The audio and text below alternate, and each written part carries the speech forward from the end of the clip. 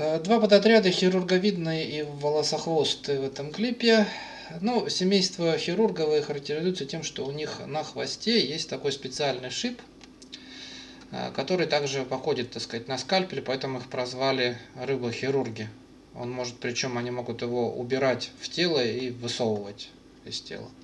Ну, в целом хирурговые это небольшие рыбы, вот такие достаточно яркие, 15-60 э, сантиметров, такие толстенькие, Иногда однотонные они могут быть, иногда оранжевые, зеленые. 300 видов этих хирургов. Э, тропическая зона, сразу видно, да, что тропическая рыба такая, не, не видавшая жизни такая красивая, чересчур для северных морей. Много их на самом деле, 300 видов, ктинохеты, рыбы-единороги, зебросомы. Живут у дна, обычно среди кораллов и скал, поэтому яркие. Глубина не больше 30 метров, то есть, в принципе, они такие при, а, при, при береге они. Ну, вот полосатый хирург на картинке широко распространенный, 25 сантиметров. Э, полосатый хирург может быть от юго-восточной Африки до западной Мексики, прямо повсеместно. Взрослые полосатые хирурги живут в прибрежной зоне у коралловых рифов – могут ходить поодиночке, стайками, косяками, питаются водорослями, и практически все рыбы-хирурги, несмотря на то, что он вооружен скальпелем, они питаются водорослями. Нерестятся с декабря по июль, и во время нереста они держатся стаями. При э, совокуплении они плывут вверх вместе, вот как бычки некоторые. Даже не некоторые, как все бычки. Вот он вверх плывет. Потом доплывают они до самого верха, и там они выметывают икру, и тут же ее оплодотворяют. О потомстве не заботится. Икра, получается, сразу идет в планктон, и планктон потом она и ест. Личинка, в смысле. А, личинка еще не развивает этот хвостовой шип, по которому называется рыба-хирург. То есть она обычно на такую на обычную рыбу походит и вообще не походит на взрослую рыбу, поэтому их выделяли в отдельные виды. Первоначально, потом показали, что это личинка рыбы-хирурга. Развивается она порядка двух с половиной месяцев, за это время достигает где-то трех сантиметров и довольно быстро трансформируется во взрослую рыбу в течение пяти суток. У нее появляются темные полосы на теле, закладывается хвостовой шип и исчезает ядовитость колючек. То есть, когда она маленькая, она ядовитая, когда большая, не ядовитая. Вот. И э, она, э, у нее удлиняется пищеварительный тракт. Когда она личинка, она питается вообще-то зоопланктоном. То есть она мясо ест, креветок. А когда она взрослая, она питается водорослями. Чтобы водорослями питаться, нужно дольше переваривать. Поэтому у нее увеличивается практически в три раза пищеварительный тракт, и она переходит на питание водорослей. Растет она при этом довольно быстро.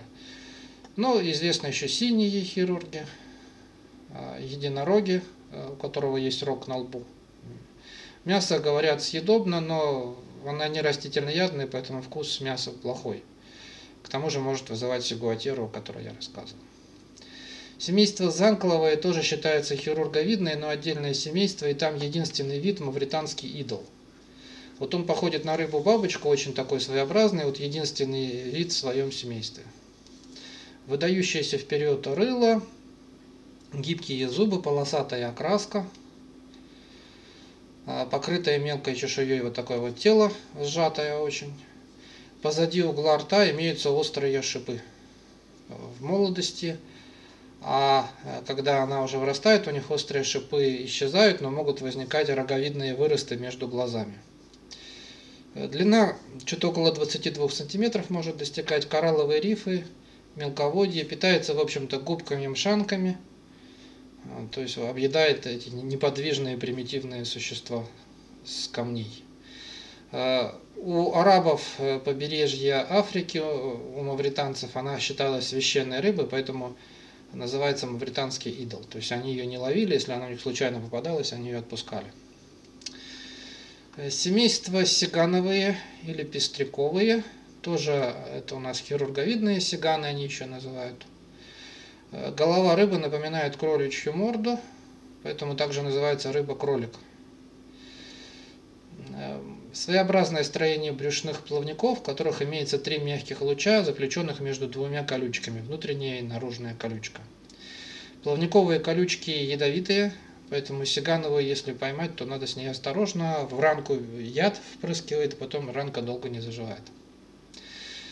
Э, эти сигановые вообще-то пестряки, по-русски называются, или пестряки, или сиганы, можно и то, и другое в интернете встретить. Их порядка 30 видов.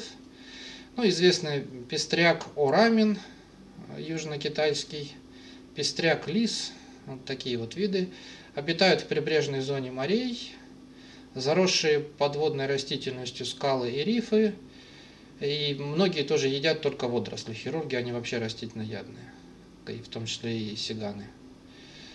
Э, стаями ходят и общипывают водоросли с камней. Причем, когда они пасутся, они вниз головой вертикально присасываются к камням и объедают водоросли. Э, личинки пестряков где-то порядка 2,5 сантиметров э, плавают на поверхности, где-то когда уже дорастают вот до 3 сантиметров, опускаются на дно и переходят к питанию водорослями.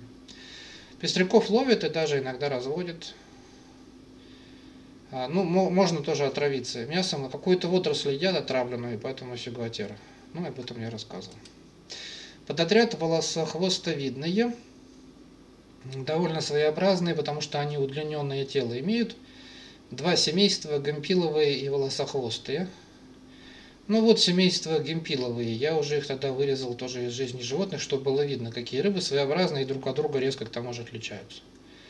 Вот сюда снег относится, который в прибрежных районах у берегов Южной Африки, Южной Австралии, Чили. Снег – крупная рыба до 20 килограмм, 135 сантиметров и крупными стаями ходит там в Южной Африке. Считается деликатесом, копченое, ну там соленое и так далее. Ну, снег кусается, то есть когда его ловят, у него острые довольно клыки и может кусаться, у него там есть какое-то ядовитое вещество тоже. Рувета вот она есть тут на картинке под номером 2, довольно крупная, заметно, да?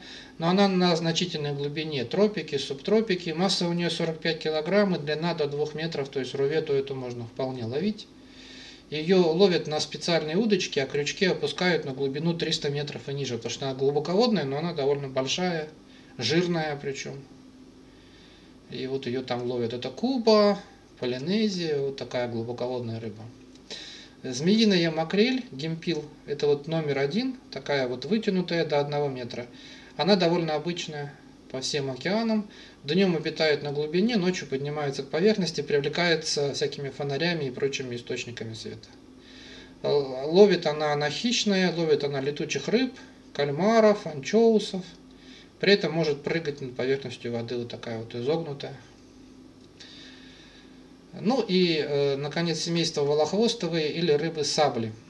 Очень вытянутое тело. Это вот то, что внизу, это различные сабли рыбы. Вот прямо змея такая плавающая. Длинный спинной плавник, тут можно на схеме заметить. От головы до хвоста. Э, и у некоторых хвостовой плавник вообще отсутствует, может вообще без хвоста быть. Э, морские рыбы поверхностных слоев воды, около 20 видов. Наиболее известная рыба сабля, на которую едят, на которой можно, в принципе, охотиться. Китай, Корея, Япония э, целыми сетями эту саблю рыбу едят, ловят. Может встречаться у нас в районе Владивостока, где вообще вся природа напоминает китайскую. Быстро плавающая хищная рыба, сабля рыба, придонные слои воды – тоже в темное время суток поднимается к поверхности. Хищная, питается всевозможными рыбами, быстро растет, длина 2 метра и масса килограмм. То есть очень длинная, но легкая, потому что она вот такая вот худая. Ну и близкий к э, рыбе сабли угольная рыба сабля, лепидопа, бентодесма и так далее.